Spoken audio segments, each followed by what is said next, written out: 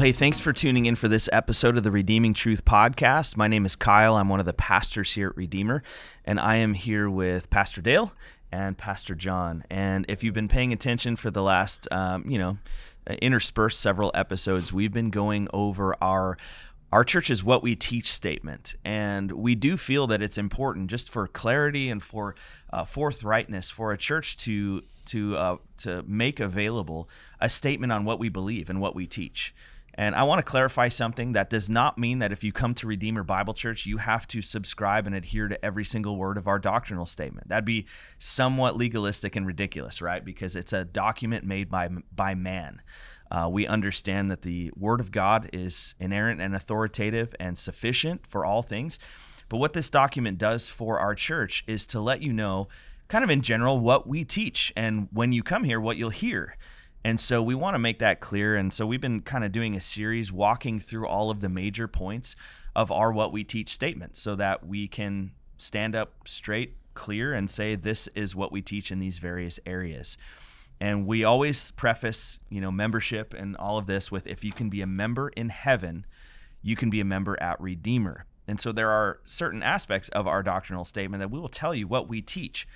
And you may be able to hold a different view biblically, and that's fine. And there are certain categories, like this one, uh, the doctrine of God, the Son, the Lord Jesus Christ, that we have to get right. There are certain elements that we have to get right. Now, we understand we're in the day and age when uh, debates on Christology are, are numerous right different terminologies different things going on but what we want to do we're not we're not here to do a podcast on different views on christology right? We're here to do a podcast on on what our doctrinal statement says and why it says it the way it does. Because there are certain things about Jesus and his person and his uh, his nature that are necessary to believe. Otherwise, you are not a Christian. And there are certain things that there's some debate and flexibility on. We're not here to get into those. We want to talk about what's in our doctrinal statement, and Jon in particular, why you wrote it the way you did, uh, so that we can understand biblically the, ne- the necessary things to know and understand yeah. about the person and work of Jesus. So I will answer that question, but because the way you said it, you did, I, I think I should address the fact that when when we wrote a doctrinal statement for this church, some would say that that's kind of an arrogant thing to do. Mm-hmm. Write your own doctrinal statement. There are creeds and confessions that are out there mm-hmm. that formulated by some of the most brilliant minds in the history of the church, mm-hmm. and here you are writing your own little know it all nobody. um, and so I, I just want to say, first of all, that creeds and confessions are incredibly helpful. Mm-hmm. They are, but they're not inerrant mm-hmm. and they're not current either. They were solidified um, hundreds of years ago 300, 400, 500 years ago, solidified back then, which means that they're not able to answer current attacks. Mm-hmm. Now you can extrapolate, mm-hmm. you know, from those in order to try to address current attacks. Mm-hmm. But but really, what is needed is current. Um, addressing of these attacks. So rather than updating historical documents mm-hmm. and saying we're going to have the fourth, you know, uh, London Baptist Confession, the fifth and the sixth and the 7th mm-hmm. We just said, well, let's just you know yeah. make our own. And it's not disregarding those documents. No, not at all. It's taking uh, truth that good theologians have worked hard to uh, to kind of explain and codify and updating it for today. Yeah, and then and and in ways that reflect the the pastors, mm-hmm. the elders here at Redeemer Bible Church. So when it came to because it's for our family, right? It's for our exactly. We're not publishing this saying every church better believe this. This is just saying exactly. what we are going to teach. And so right off the bat, when it comes to Jesus, mm-hmm. we made strong statements that he is the second person of the Trinity. Mm-hmm. He is truly divine. He is he's God in every sense that the Father is God, that the Spirit is God, that he is God and and that's that is something that is ubiquitous. It's universal for Christian bodies. Mm-hmm. If you cannot affirm the true deity of Christ. Mm-hmm. You're not a Christian. Yeah. You're not a Christian organization. You're not a Christian person. You're not a Christian body this is this is one of those doctrines that the church stands on or falls on. Yeah. And so wanted to make that clear from the very beginning that Jesus is the Son of God. He mm-hmm. is God in, in human skin, just like uh, he says when he calls God his own Father in uh, John 5, 17 and 18. Mm-hmm. It says, comma, making himself equal with God. Mm-hmm. And in case we didn't understand what that meant, the religious leaders there were ready to kill him for blasphemy. So they understood what he was saying, even if we don't. He was affirming his deity with that statement. Exactly. Yeah, and not only his deity, uh, but like like we say in our doctrinal statement. So I'll read this. It says, "God the Son, the Lord Jesus Christ, we teach that the eternally divine Son of God, the second person of the Trinity, the visible image of God, through whom God the Father created the world and currently upholds it, is not created or eternally subordinate to the Father ontologically, though he is satisfyingly subordinate to the Father relationally." Uh, and we get into more of this, but the idea is it's not just that he's deity, that he is co equal with the Father, that he is fully God, that he is not some type of different version of God, that he is co equal with and singular person with God in that in that sense. And that statement there, he's satisfyingly subordinate to the Father relationally, means that he wasn't forced to mm-hmm. be subordinate. He wasn't forced to say things like, My food is to do the will of God, mm-hmm. that my words are the words of God. I only say what I hear being mm-hmm. said. That he it, wasn't something forced upon him unwillingly in in, in Philippians chapter 2 where he becomes um, he becomes subordinate to obedient to the form of, to, to death, even death on the cross. Yeah. That wasn't something that he was forced to do because the big God, the Father, uh, exerted his more deity influence on the littler God, Jesus, and forced him to do something. No, he's fully satisfied in being relationally subordinate to the mm-hmm. Father.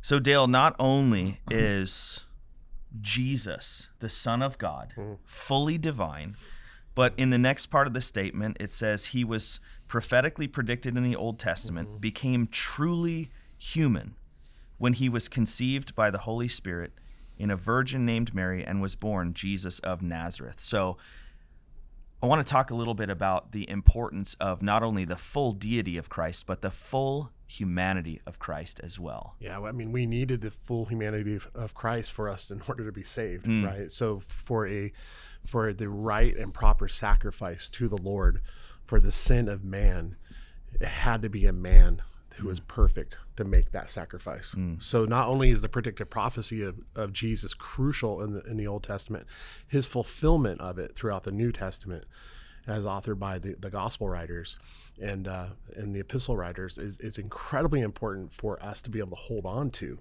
Um, and and and hold on to it so tightly and unwaveringly in, in a way that um, we we know that our we know that we know that our sin has been paid for by a sacrifice that was worthy of of um, God's wrath.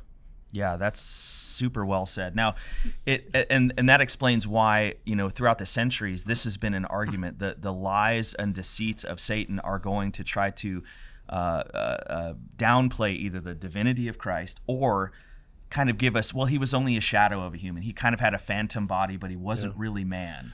Yeah, no, his, his the reality of him being 100% God, 100% man, our salvation relies upon it, right? So if you're going to try to chip away at the at the truth of Christianity throughout the centuries, this the, the attacks always come from the same angles. They're always trying to either one chip away at his authority of deity that he had, or two his humanity. Because if, if if either of those fall, the whole Christian um, worldview falls. Yeah, and that's why it's important we say in here, and uh, maybe you can elaborate on this. He was conceived by the Holy Spirit in a virgin named Mary, not just a young woman named Mary or a person named Mary. Yeah, I would love for Jon to, to actually chime in on that because I definitely have I definitely have thought out that, but I think with Jon's expertise on this, it would be good for to hear from him. Yeah, what, what we're saying is that he's he's truly it's fully is spatial. So mm-hmm. so we're saying he's truly divine mm-hmm. in the sense that he is everything that God is. Mm-hmm. And we're saying he's truly human in the sense that he is everything that human beings are, yet without sin. And so when it comes to being born to a virgin named Mary, the idea there is that he is here is this divine person being being supernaturally conceived mm-hmm. in, in a woman in some way protecting him from the transfer of sin mm-hmm. into him as as part So of that his would be called nature, human- imputation, the imputation of sin. Correct. Yeah, so he so he is not so he is everything we are yet without sin. Now, mm-hmm. someone would say, well, to err is human, right? To to be a human being is to sin. And my response would be not forever and not originally. Right? And so it is not at the core of what we are as human beings to be sinful. Mm-hmm. That is something that has been injected into us from the fall. Mm-hmm. But before that, what what is essential to us is that we are images of God. And so when it comes to Jesus, we're saying that he is everything human beings are. Why? Because we need somebody who is everything that we are to pay for our sins. If he's if he's almost like us, or if he's not like us at all, if he's an angel, for instance, he can pay for angel sins, but he can't pay for our sins because he's not one of us. Yeah. The idea of the New Testament seems to be that he must be one of us in order to pay for our sins. Yeah, and and just to put it in human terms, and this may, may seem a little silly, but uh, this is kind of one of the things I like about philosophy. At times, we use silly analogies just to prove, you know, to to prove the rule here. But imagine a human being is convicted of murder, and an ape steps in to take the punishment. It's like no, no, that that's not one for one. Like the law would never be satisfied uh, with that substitution, and so in order for uh, the atonement to even work, not only can and we see this in, in Romans five, right? Not that that uh, uh, one would scarcely die for a righteous man, you know. And but in this this thing that that even though even if you had a righteous man, you could have a one for one substitute. So not only does he have to be a man, fully satisfying the the full humanity in order to be a vicarious representative, but also his value as a sacrifice has to be greater than one other person. And the only way to do that is to have him be divine, and in his div- full divinity, his value is worth the sac- uh, uh, his uh, uh, um, exchange of sacrifice is worth an infinite number of human of, of human souls, Amen. whatever whoever his people are. Yeah, exactly. And the, the the incredible thing about that is that the incarnation doesn't change after the ascension. Mm. So that right now and forever, Jesus is this God man. Mm-hmm. And that even talks in Revelation about seeing the one pierced mm. in the future. Mm-hmm. That, that we will see him as the lamb slain. Yeah. Mm. As And, uh, predicted in Daniel, one like the Son of Man coming before the Ancient of Days to receive all that honor and glory. so that here you have here you have this person jesus who never at any point in his earthly ministry was he not truly divine. And yet at the same time at no time did he did the limitations of humanity keep him from being our redeemer as well Well, and that's kind of the next, uh, you know, it says here, his divine and human natures are now and forever united in his one person without mixture, confusion, division, or separation. And we talk about this, you know, in, in I, I- I've talked about this preaching, you've talked about this, that, that Jesus' ministry as, as the, the servant of God, the servant of Yahweh, ended in his crucifixion, and his ministry now of high priest is forever for us interceding before the Father. Uh, this this human uh, divine connection uh, is eternal, so He is our forever representative.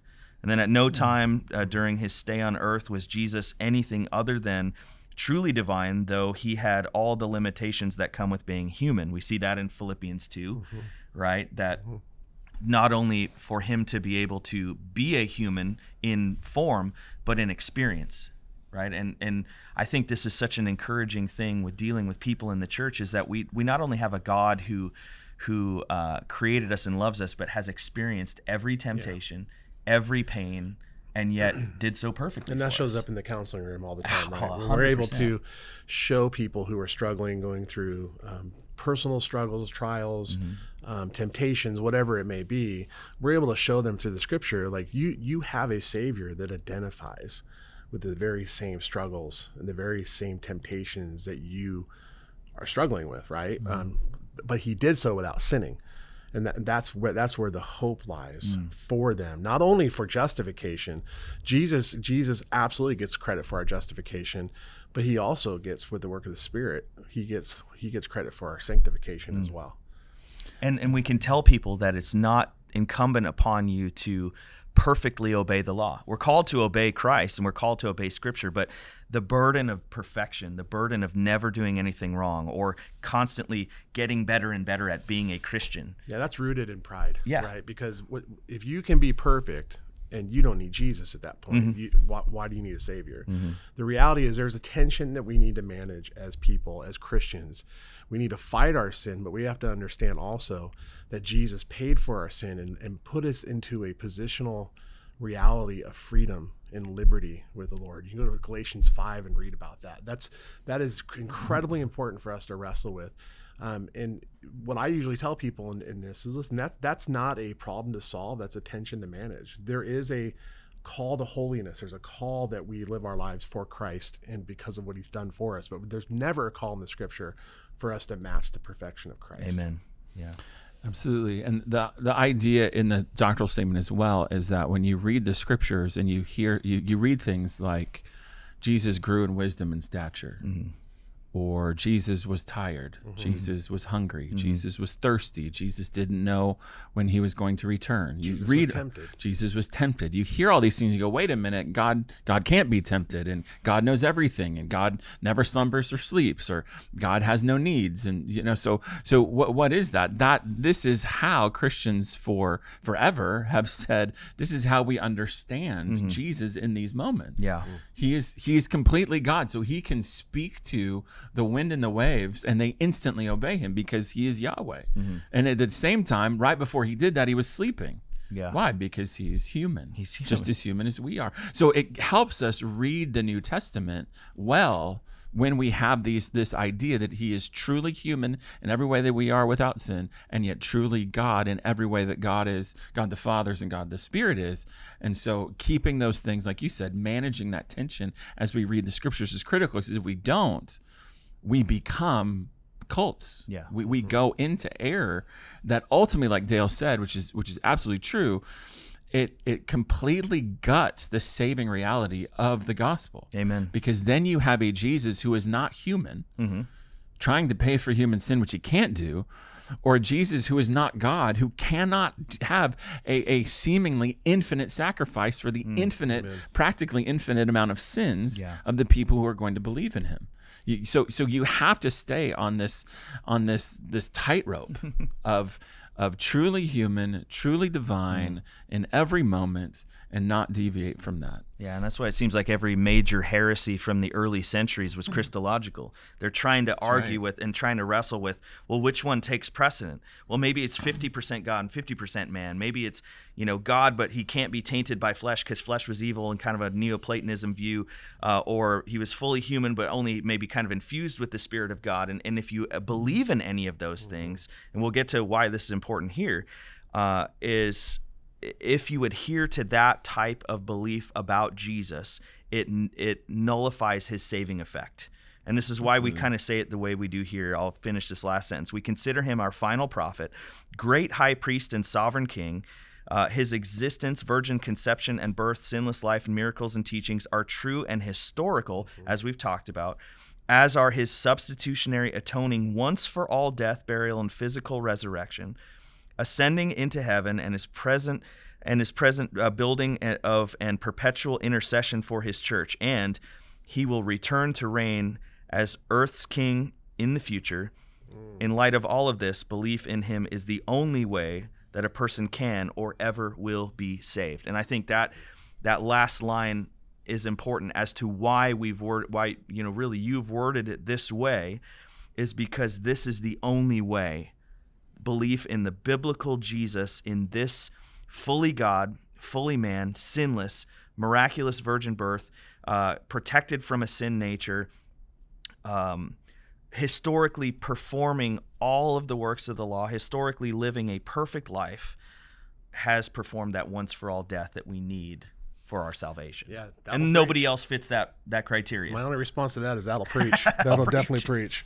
So the idea quickly is he's our final prophet, meaning we don't need any prophets yeah, after not, him. not waiting for mm-hmm. We're anyone not looking for Muhammad. We're not looking for Joseph Smith. We're not looking for Watchtower Tract Society. We're not looking for any other mm. prophets. He is our final prophet, mm. Deuteronomy 18:15. He is our great high priest. We don't need any other priest. Mm-hmm. We don't need lesser priests. Mm-hmm. We don't need a priest above the lesser priest. We don't need it one at the top like the Pope.